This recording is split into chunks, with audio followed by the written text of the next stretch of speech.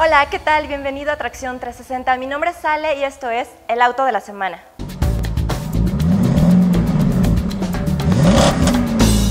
En esta ocasión elegí para ti el Ferrari F12 Berlinetta que fue presentado por primera vez en el Salón del Automóvil de Ginebra, Suiza, donde se llevó uno de los premios más importantes por su diseño aerodinámico y además fue proclamado como el superauto del año por este controvertido programa británico del que todos ya conocemos llamado Top Gear. Pero ¿qué es lo que tiene de especial este Ferrari? Vamos a verlo. Entre lo más interesante del F12 Berlinetta es, por ejemplo, que cuenta con un motor V12 y una potencia de 740 caballos.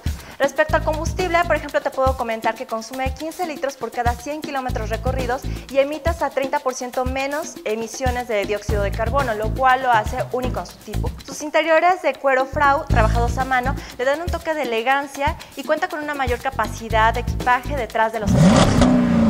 Pasemos a cosas más interesantes. ¿Y es que hasta dónde llega el F12 Berlinetta de Ferrari? Bueno, pues este coupé de tres puertas cuenta con 7 velocidades y acelera de 0 a 100 kilómetros en tan solo 3.1 segundos. Como dato adicional te platico, en sus pruebas iniciales en el circuito de Fiorano, que es este autódromo privado de Ferrari para sus pruebas, el F12 registró un tiempo récord de tan solo 1 minuto con 23 segundos. Y entre los célebres propietarios de este cabalino rampante se encuentra, por ejemplo, el director de cine norteamericano Michael Mann, a quien ubicamos perfectamente por películas como El último de los moicanos o Enemigos públicos.